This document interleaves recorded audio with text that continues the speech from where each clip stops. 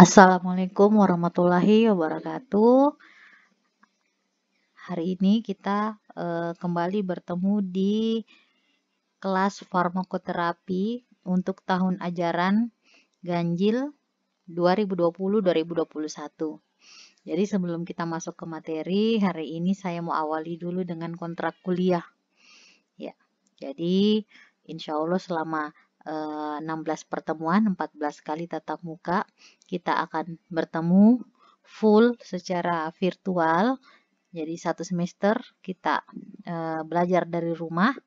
Uh, selama satu semester 14 kali tatap muka. Saya akan mengambil beberapa poin-poin seperti kuis, ujian tengah semester, ujian akhir semester, dan tugas mandiri, serta nilai soft skill.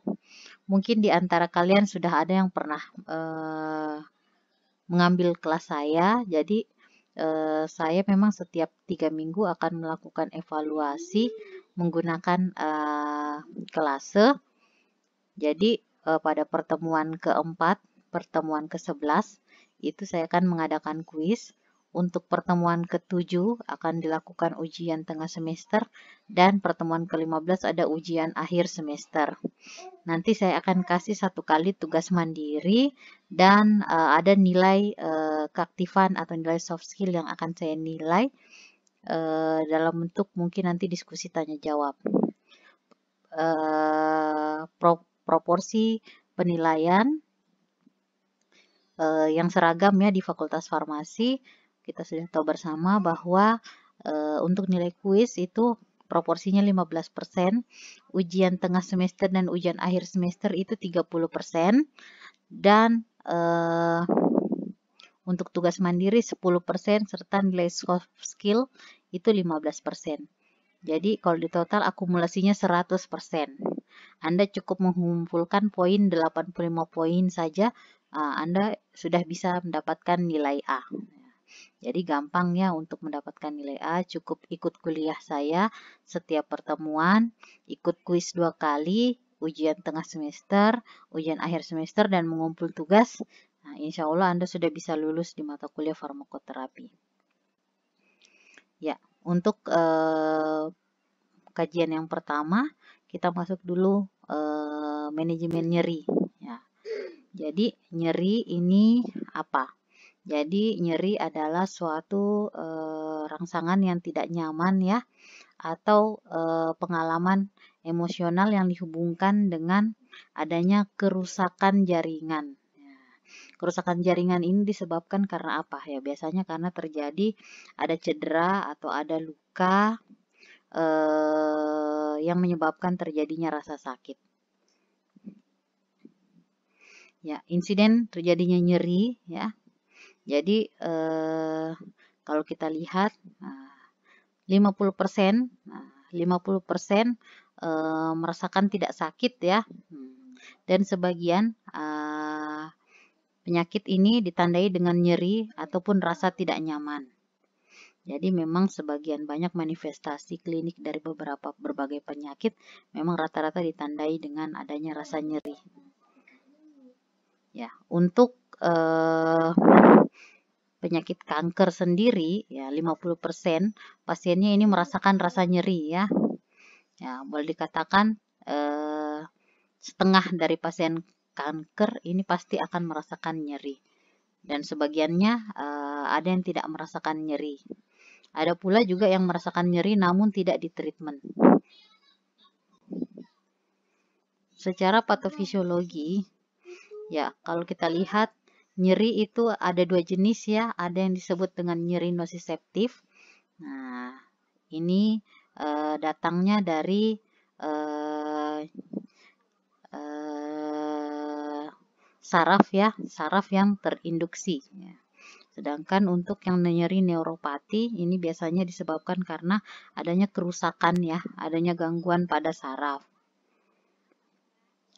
Nah, untuk patofisiologinya mungkin Anda bisa lihat sendiri eh, patofisiologi dari nyeri. Nah, di sini kita bisa lihat ada eh, pada nyeri nosiceptif, ya, ada istilahnya stimulasi, transmisi, persepsi nyeri, modulasi, dan uh, adaptive inflammation. Nah, pada uh, pada fase stimulasi biasanya nyeri itu diawali dengan pelepasannya uh, neuro uh, neurotransmitter neurotransmitter ya uh, pada ujung saraf seperti pelepasan bradikinin, pelepasan prostaglandin, pelepasan histamin, pelepasan leukotrien, serotonin, dan uh, beberapa uh, substansi P ya. Dan nyeri itu bertransmisi. Jadi memang uh, kecepatan konduksinya uh, sangat cepat ya. Ada yang uh, uh, dengan sentuhan saja, misalnya dengan sentuhan eh, kecepatannya 30 sampai 100 eh, meter per sekon dan ada juga eh, untuk tekanan, untuk eh, thermal tubuh, untuk eh, kondisi panas dan dingin dan beberapa substansi kimia. Nah, ini eh, transmisinya 5 sampai 15 menit per sekon. 5-15 meter per sekon maksud saya ya. Dan rasa nyeri itu kan berbeda-beda tiap uh, orang ya. Jadi memang setiap orang beda merasakan uh, persepsi nyeri. Ada orang yang sangat peka terhadap nyeri, ada yang uh, tidak terlalu peka. Jadi memang berbeda-beda uh, persepsi nyeri tiap orang. dan eh, selanjutnya tahap modulasi ya di mana ada namanya sistem endogen opiat system nah di mana eh, pelepasan senyawa ensefalin dinoprin dan uh, endorfin ini itu dia bisa uh, memblok atau menghambat atau meniadakan rasa nyeri. dan biasanya nyeri ini ditandai dengan terjadinya bengkak atau radang ya. Jadi kalau kita lihat eh, salah satu tanda terjadinya nyeri ditandai dengan adanya inflamasi atau bengkak. Selanjutnya untuk nyeri neuropati, nyeri neuropati ini eh, adalah disebabkan karena adanya kerusakan pada uh, saraf ya atau bisa kita sebut sebagai terjadi malfungsi Eh, kehilangan fungsi dari uh, saraf. Nah, untuk mengobati nyeri kita biasanya melakukan asesmen dengan melihat uh, berapa sih nilai uh, ambang batas nyeri uh, pasien kita. Biasanya uh, dengan menggunakan VAS ya atau Visual Analog Scale. Nah, Visual Analog Scale ini adalah uh, tools yang digunakan untuk melihat skala nyeri seseorang. Jadi kalau dikatakan untuk angka 0 sampai dengan 10, kalau 0 itu rasanya tidak sakit, 1 sampai 3 itu rasanya nyeri tapi masih bisa tertahan atau biasa-biasa saja. 3, 4, 5 itu sudah mulai nyeri sedang, jadi sudah mulai uh, ada uh, perasaan yang tidak nyaman dan ada nyeri berat.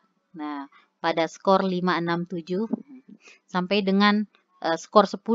Nah, skor 10 ini kapan ya? Jadi ternyata menurut penelitian uh, rasa sakit yang paling berat itu pada saat kondisi ibu melahirkan ya, itu adalah kondisi uh, nyeri yang paling hebat ya dengan uh, skor 10 sudah tidak ada lagi di atasnya uh, rasa sakit. Nah, uh, sehingga untuk menghilangkan rasa sakit, biasa kita menggunakan uh, beberapa senyawa-senyawa analgetik ya. Anda bisa lihat sendiri, ini saya ambil dari buku di Piro. Nah, uh, jika kita mengacu pada NCBI ya, ada uh, uh, ini diacu juga oleh WHO bahwa penggunaan obat-obat NSAID uh, untuk uh, mengontrol atau meredakan nyeri ada empat stepnya ya step 1, step 2, step 3 dan step 4 nah ini uh, biasanya tergantung semakin tinggi stepnya berarti semakin hebat nyerinya Jadi kalau kita lihat step 1 yang masih biasa ya, masih menggunakan obat-obat analgesik NSAID. Uh, uh, step 2 menggunakan senyawa-senyawa opioid. Step 3 menggunakan uh, senyawa-senyawa metadon ya, yang sudah uh, diberikan secara transdermal uh, ataupun sudah diberikan secara intravena. Nah, yang step 4 ya biasanya ini uh, untuk memblok uh, saraf epidural ya. Ya, untuk lebih jelasnya bisa Anda langsung lihat di eh, NCBI ya. Saya hanya memberikan review saja untuk hari ini. Uh, informasi lebih lanjutnya bisa langsung Anda buka di artikel uh, yang saya tampilkan. Ya, terima kasih. Wassalamualaikum warahmatullahi wabarakatuh.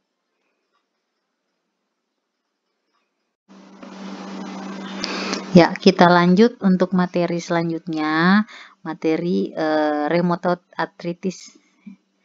Ya, jadi rheumatoid arthritis ini adalah suatu penyakit sistemik yang ditandai dengan adanya inflamasi pada sendi yang simetris. Ya, ini mungkin disebabkan karena ada uh, kerusakan organ uh, di sistemnya ya.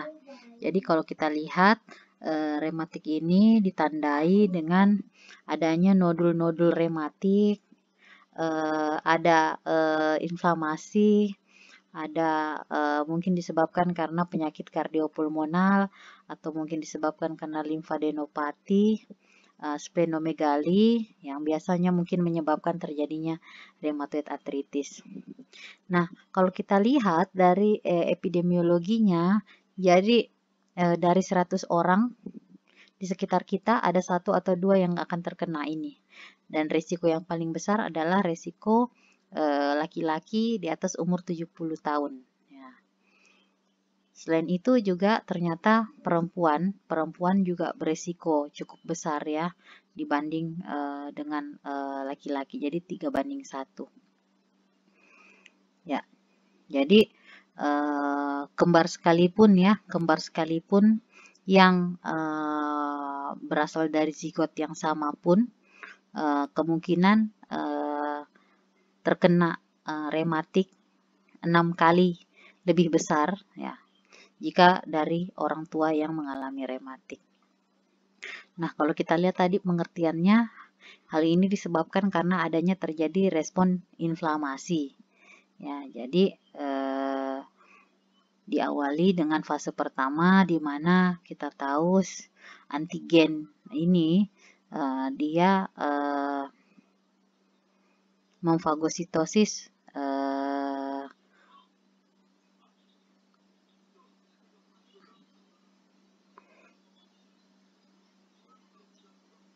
pada limfosit uh, pada limfosit T ya. Nah, jadi uh, dapat kita lihat nanti uh, si limfo si antigen ini uh, akan berikatan ya akan beri, uh, akan berikatan dengan uh, sel T di mana di sel T ini nanti dia akan uh, menghasilkan yang namanya makrofag. Nah, di mana nanti makrofag uh, Selain makrofag juga ada sel plasma, nah, di mana nanti ya si sel plasma ini nanti uh, akan menyebabkan terjadinya inflamasi pada uh, cairan sinovial ya, pada tulang dan kartilago. The skeletal system provides the framework for the body and protects the internal organs. Joints exist where two bones meet to allow movement and flexibility of the skeleton. Ya, they are complex structures that contain many types of tissue. Ligaments and tendons surround the joints in order to provide support to the joints and prevent dislocation and injury. Cartilage is a smooth and strong material that lines the connecting surfaces of the bones. This tissue cushions the joints and prevents friction when the bones rub against each other. Synovial membranes line the joints and secrete fluid. This fluid provides lubrication, reduces bone erosion, and aids in joint mobility. Rheumatoid arthritis, or RA, is an autoimmune disorder in which the body's own immune cells attack this fluid-secreting membrane that lines the joint. This can cause joint swelling, stiffness, and pain. Inflammation can also occur in tissues around the joints, yeah. such as the ligaments, tendons, and Jadi, muscles. Uh, Chronic rheumatoid arthritis ini bisa terjadi dalam periode yang cukup lama ya, sehingga dikatakan sebagai chronic rheumatoid arthritis. Treatment for RA can include medications such Apa saja obat-obat yang digunakan untuk terapi rheumatoid arthritis? Ya, and disease modifying menggunakan NSAID, kortikosteroid, dan obat-obat demam. Ya, kalau kita bicara mengenai inflamasi, otomatis eh, ditandai dengan adanya rasa sakit ya, sehingga obat-obat yang digunakan memang obat-obat analgesik. Nah, untuk tanda dan gejala biasanya ditandai dengan terjadinya nyeri sendi selama kurang lebih 6 minggu ya. Nah, dan juga biasanya ditandai dengan ada munculnya rasa lelah, lemas, dan ada juga demam dan hilangnya nafsu makan biasanya terjadi eh, nyeri otot dan eh, sakit pada otot pada sore hari ya. Dan eh, jika terjadi dalam jangka waktu yang lama, maka biasanya akan terjadi deformitas sendi. Nanti kita lihat seperti apa eh, bentuknya deformitas sendi. Ya, eh, tanda-tandanya biasanya karena terjadi inflamasi otomatis eh, bagian yang terjadi inflamasi akan terasa jauh lebih hangat ya dan sakit jika disentuh karena biasanya eh, eh, terjadi pada sendi jadi kemungkinan terjadi pada jari-jari tangan atau jari-jari kaki ya yang paling banyak terjadi. Nah, ini seperti yang saya katakan tadi, jika dalam jangka waktu yang cukup lama tidak ditreatment, maka akan menyebabkan yang namanya deformitas sendi. Ya, deformitas sendi menyebabkan e, bentuk ya, bentuk dari e, sendi kita sedikit terjadi perubahan ya, tidak sama seperti normalnya. Untuk mengetahui seseorang mengalami rematik, kita bisa deteksi dengan menggunakan e, rheumatoid faktor ya atau faktor rematik. Biasanya e, hasilnya menunjukkan kalau dia negatif berarti e, aman ya, berarti tidak rematik. Tapi jika positif berarti e, ada kemungkinan e, orang itu mengalami rematik. Ada juga menggunakan anti-CCP, antibody anti-CCP ya. Uh, dia lebih spesifik lagi untuk uh, sebagai tes laboratorium untuk menegakkan diagnosa rematik. Ya.